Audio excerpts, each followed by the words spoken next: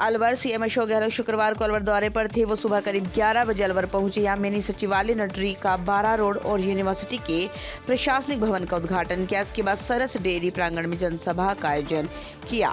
उन्होंने कहा, अगला कोई भी संभाग बनेगा, वो अलवर होगा, ये मैं कह सकता हूँ।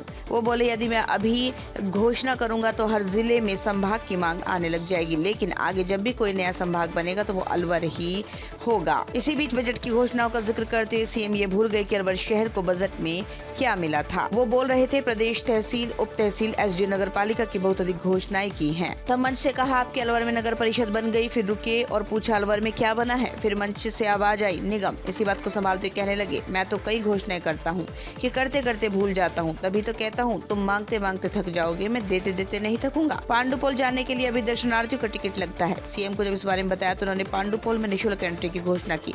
वो बोले, आगे से कोई टिकट नहीं लगेगा। बनेंगे जी। तो टॉप रहेगा जी।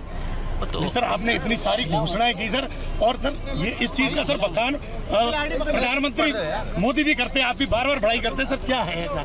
जो सर आपको बेस्ट मुख्यमंत्री बनाता पूरे देश में। बड़े क्या करते हैं यार। सर हर बार मेरी मौजूदगी के अंदर तो हमारी सरकारों की परफॉर्मेंस साठ सत्तर साल जो काम हुआ देश के अंदर कमेंट्स आप सुनते नहीं हो अच्छी बात है।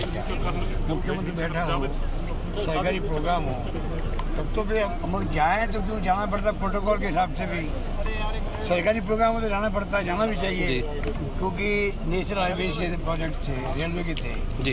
उस वक्त प्रधानमंत्री जी को मैं समझता हूँ मेरी मौजूदगी के अंदर पिछली गवर्नमेंट के वक्त में कुछ हुआ ही नहीं ये कैसे हो सकता है?